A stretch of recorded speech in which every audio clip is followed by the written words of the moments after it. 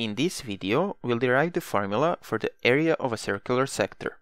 Then, we'll use that formula to find the area of this particular sector, which has radius 3 and arc length 4. Now, let's find the formula. Here we have a sector with radius r and arc length l. We'll divide it into smaller congruent parts. Using those parts, we can make the figure on the right. We also want to have an even number of parts, which is in this case 6. That is because we want half of them to face this side and the other half to face that side. Then the length of this curved line is one half of the arc length, so that length is L over 2. And the length of this line segment is equal to the radius, which is r. We divided the sector into six parts and then made this figure from them. But we don't have to divide it into six parts. We can divide it into, let's say, 10 or 20 or 50 parts and make a corresponding figure from them.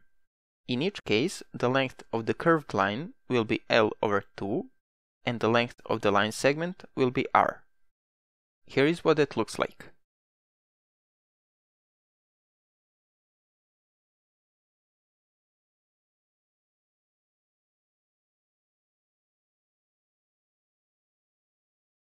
We see that as the number of parts increase, the figure on the right looks more and more like a rectangle. And not just any rectangle, but a rectangle whose height is r and width is L over 2.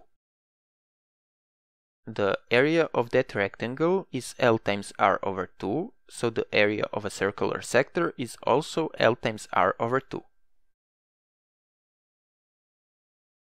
Now, to solve our initial problem, we just need to put 3 and 4 in the formula.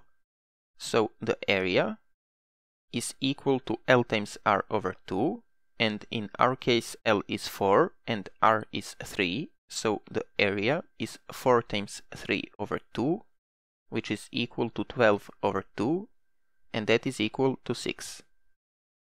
With that in mind, I leave you with this question. Can a circular sector have the same perimeter and area as some circle? That is all for this video. If you liked it, click the like button, helps with the YouTube algorithm. And I'll see you next time.